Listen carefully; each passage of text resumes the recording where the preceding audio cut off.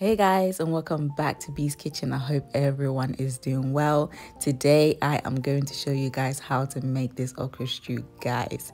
This okra stew is packed with loads of meat and it's absolutely delicious. You can pair it with banku, kenkey, gari, any side dish of your choice. Stay with me and let's get started. For this recipe, I am going to use the following ingredients. In this bowl, I have oxtail, I have wele, also known as cowhide. I have cow foot. I have some freshly chopped tomatoes. In this bowl, I have my mutton. I have tripe, also known as shaki, and some smoked turkey. To make my stew, I have some garlic, ginger, scotch bonnet, and some shallot. I also have fermented fish, also known as momone. To steam my meat, I'll be using shallot, garlic, onion, ginger, and some pepper. I also have crab, some okra, and finally palm oil. As always, all ingredients, including measurements, will be in the description box below. First things first, I'm going to bake the cow foot in the oven at 200 degrees for 15 to 20 minutes. And the reason why I do this is because I want the meat on the cow foot to detach itself from the bone and also this will shorten the cooking time. We all know that cow foot takes a very long time to cook. Whilst the cow foot is baking in the oven, time to cook the rest of the meat. So into a pot I have added oxtail, mutton, and shaki, also known as tripe. I am now going to blend ingredients which I'll be using to cook the meat.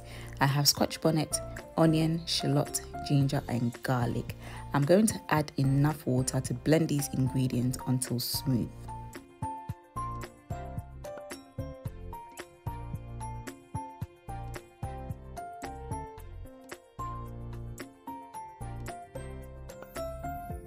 Going to add the blended mixture to my meat.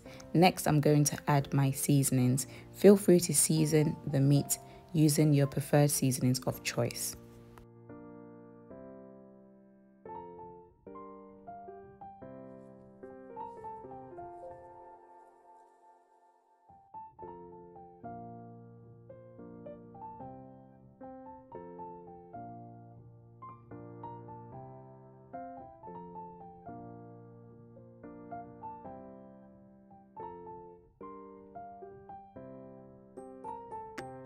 As I've added all my seasonings, I'm just mixing everything together.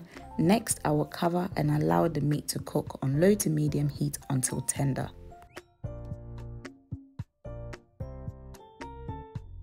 Whilst the meat is cooking, I'm also going to cook the wele, also known as cowhide, separate. In a pot, I have added water and I've just seasoned the water with a little bit of salt. I am now going to add the wele and I'll cook this until tender.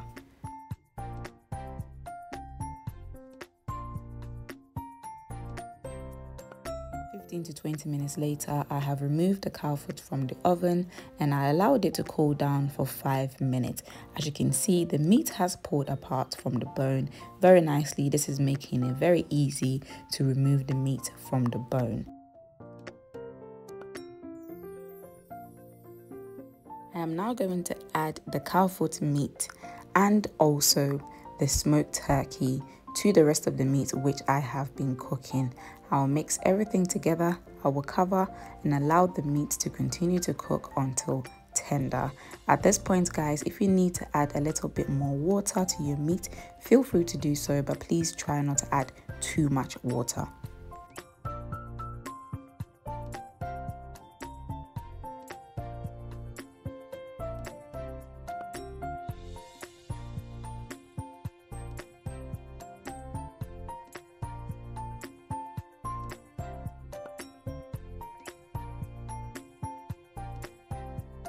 I'm now going to prep my okra which I will be cooking separately.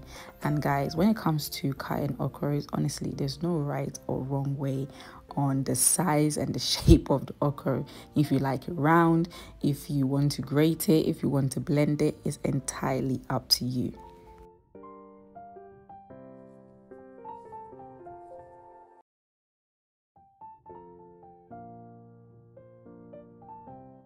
this is what mine looks like after I have finished cutting all my okra. I'm just going to put it in a bowl and next I will transfer it into my pot I have transferred the chopped okra to a pot and now I'm adding enough water to cook the okra. Next I'll be boiling the okra on low to medium heat for about 8 to 10 minutes until the okra is nice and tender. 8 to 10 minutes later the okra is ready so I'm just going to set this aside for later use.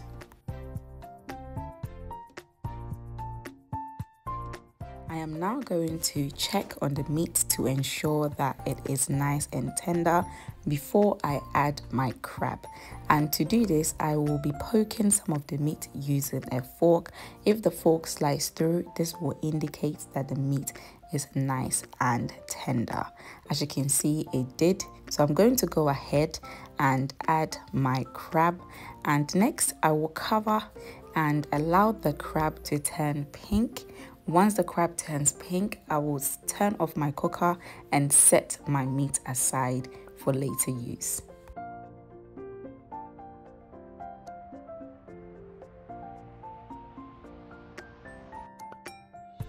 And as you can see, the crab has turned pink. So I'm just going to turn off my cooker and I'll set the meat aside for later use.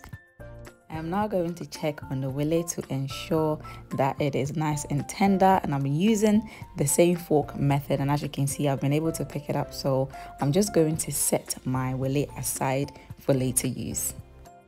To get started on making the okra stew, I am going to blend the ingredients which I'll be using for the stew. In a blender, I have added scotch bonnet, garlic, shallot, and I'm going to add my ginger.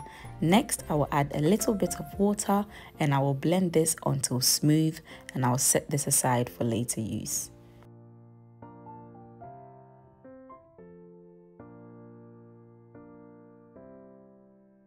and time to get started on making the okra stew. So to my pot, I have just added palm oil and now I'm going to add momone, also known as fermented fish. I'm going to infuse my palm oil with momone before I even add my chopped onion.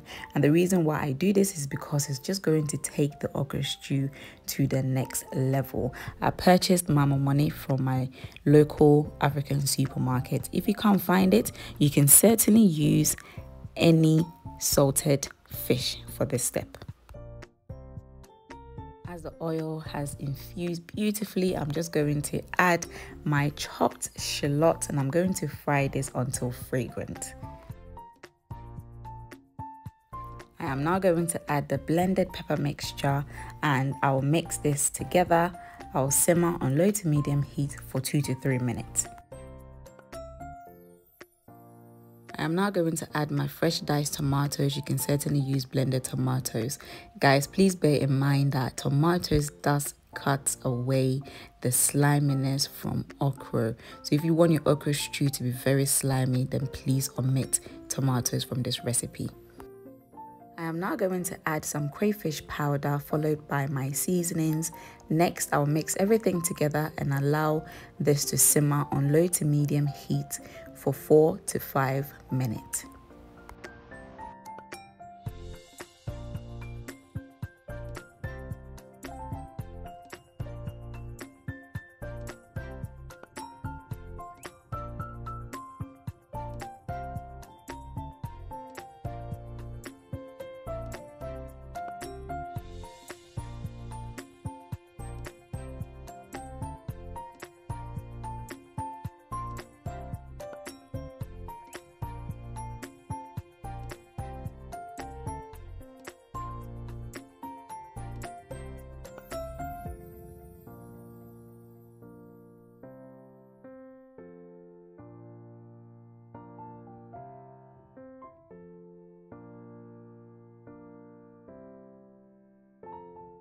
And four to five minutes later I am now going to add all the cooked meat and I'll mix together well.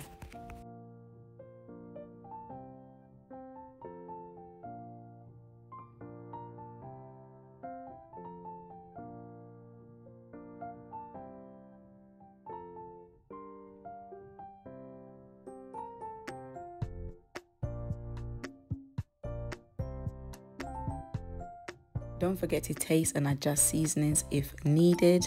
I am now going to add in the cooked okra. I'll mix everything together well. Next, I will add the cooked wele and I'll mix everything together well too. Because the okra is already cooked, I'm just going to allow the stew to simmer on low to medium heat for 5 minutes and the okra stew will be ready.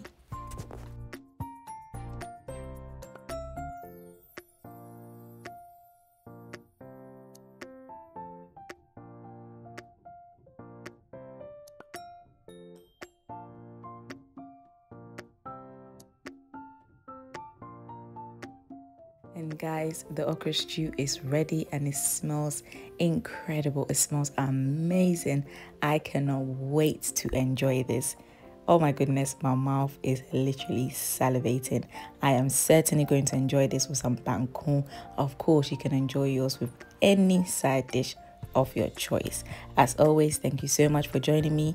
Please don't forget to like this video share this video, comment below, subscribe to this channel if you have not already done so, and click that notification bell, which will notify you whenever I post delicious recipes like this. Enjoy, and I'll see you next time. Bye.